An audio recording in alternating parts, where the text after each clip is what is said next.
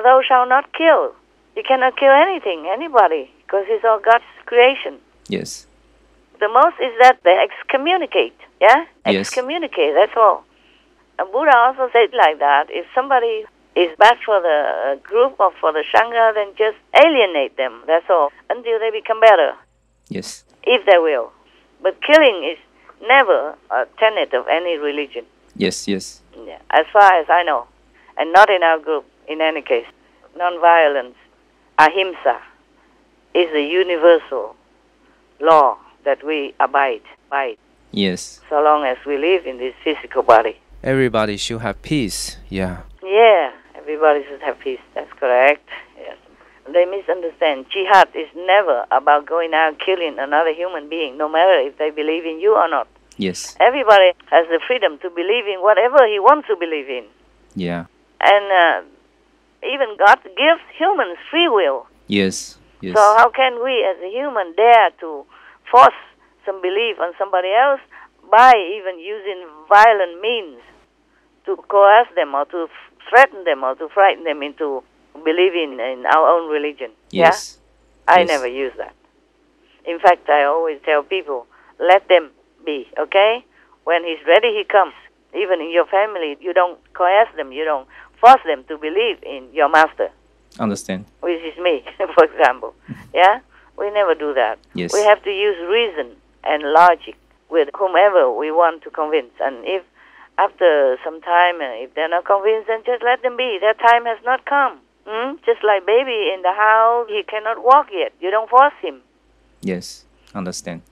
Same thing. Everything has to come naturally. We can help it a little bit, but we cannot force, stress the tree so that he grows big quickly. Yes. We just Yes. put water, yeah, Yes. and sunshine in area, and We need to have patience. right. You must have patience.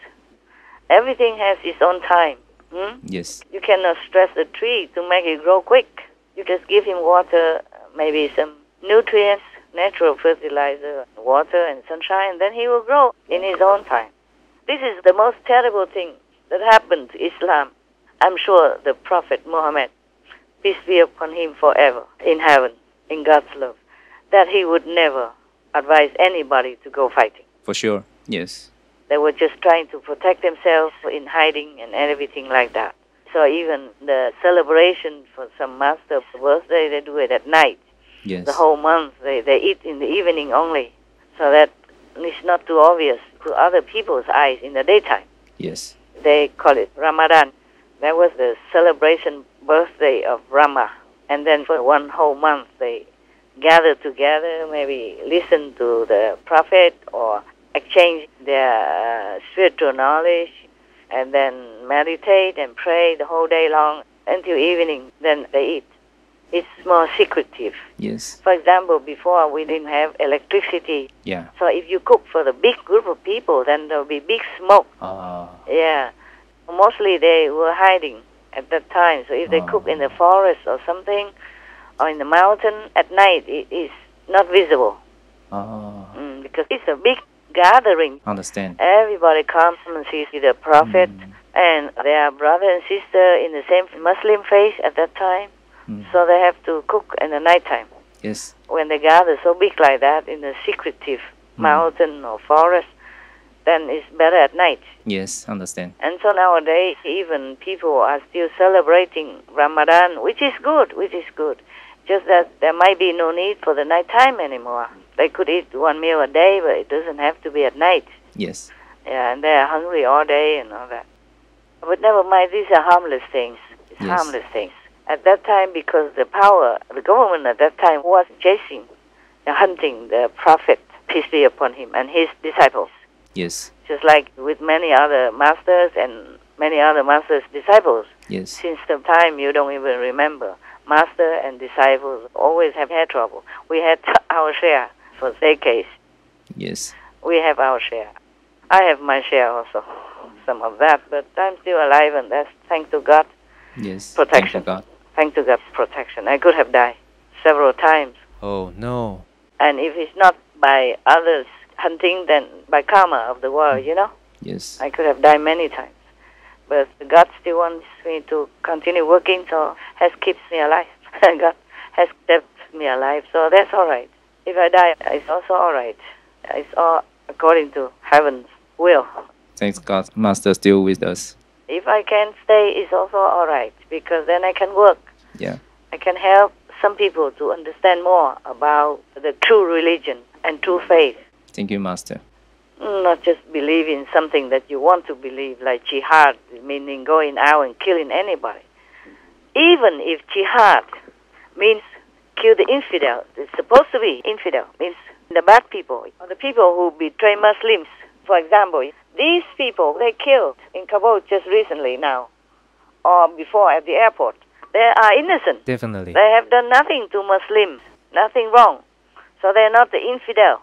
The ones who kill them are infidels because they make a bad name, Yes. blacken the name of a peaceful, great religion like Islam. Yeah, so they are bad, these people. But maybe just misunderstanding. But still, the Quran or Hadith never truly tells people to go out and kill anybody, especially the innocent like that, children and elderly and mm-hmm. women as well. You see? Yes. So that's absolutely not Islam, absolutely not Muslim. Yes. They lack in the name of the great religion, and it's very, very sad. Very sad. Okay? Yes, Master. Even if I'm not like an official Muslim, but I'm very, very sad. Because I know it's a great religion. Yeah, yeah. Yeah? It is. It is, yes, yes. And they teach people to do good things, to be charitable, and to be a good guest on earth, even. And during Ramadan, they go out do charity and all that. True. But that's all they should do helping each other, helping the neighbors, helping the needy, not killing the innocent. No. Anybody who misunderstands Islam, they should wake up. There's one sentence, maybe in the Quran or Hadith, I forgot which one. Both are holy books. But there's one sentence like the Prophet Muhammad, peace be upon him, was supposed to be very angry because somebody killed his disciple or something. At that hmm. time, it was like the government declared war on them. Just like always. Like with Jesus' time, Yes. yeah, when they misunderstand, they want to kill any religious uh, master because they worry that they teach them something bad. If they don't understand the master's teaching, they would think, oh, how can? For example, if somebody comes now and says that he's a Muslim master, then the government will say, no, this is Islam. We already have Islam. You are not. You're not the master. Yes. We don't need. Just like people misunderstand, they say Prophet Muhammad, peace be upon him, is the the only one and the last one. Yes. It's okay at that time. He was the only one that they should believe in. Yes. And he was maybe the last one because before he went to heaven, he did not appoint another official successor. Yes. Understand. So he is the last one, maybe Yes. now. Just like uh, some time ago, I told you guys, I don't want any successor because I don't want anybody to go through so much suffering like the way I did. Yes. I told a long time ago, maybe in Chinese, many decades ago. Yes. I remember. Yeah, you have heard that. Yeah, I remember. Okay. So after I die, all of you will say, "Oh, Master is the last one, the only one." I mean, in your group. Yes. Yes. But there will be other masters who come out somewhere else. Yes. So I will not be just the last of the last of all the last. That like there will be no other master after me. There will be. Understand. If the earthlings deserve another master, then God will send one. So life after life, there's always a master coming and going to teach humankind because they are blindfolded, they are ignorant, they are poisoned by the devils, by Satan, misleading talk or magic or power, whatever. They're dark force that they're using on humans and poisoning them life after life. So they misunderstand a lot, like misunderstand jihad and all that. Yes. So I told you there's one sentence in the Quran or maybe Hadith. Uh, the Prophet Muhammad, peace be upon him, is supposed to have said that go and fight them and strike their neck and all that. That's not what he said. Yes. I told you already that was somebody, you know, who tried to to advise the government that they have to put that in the Quran because he he faked it. He said he's a friend of the Prophet Muhammad, peace be upon him, and then uh, saying that he heard the Prophet say that Oh. You know, during the the time of the persecution. But the government kept, I would say, hunting them, not the prophet and his disciples. They were all hiding. Yes. Yes. Maybe the only thing that so-called fighting is that they shielded their families and the prophet and other members. Yes. Somebody would stand there and like stop the massacre, stop there, sacrifice there, just do They just uh, protect protect themselves. That's right, just to protect them. And so the other ones can escape while they are like delaying the forward running of the soldiers or authority at that time. Yes. So somebody died, sacrificed for that. And of course, the prophet would say, these people will go to heaven because they fought for a spiritual reason. Yes. Yes. That's for sure. But they did not go out and fight or anything. They just sacrificed. So others could escape. Yes. My God, life after life on earth, there's so much bloodshed from good, good, godly masters and saintly disciples. Our earth is full of the blood of these saintly beings. That's why we don't get out of this shackle of Maya, because the more we do, the more we are in debt. And then we go to hell, and then cannot get out. And then other masters come, same thing happens again Yes. even all these decades in such a democratic kind of political era, like in our time, in many countries, there's more freedom for faith, you know, new faith, old faith, more freedom.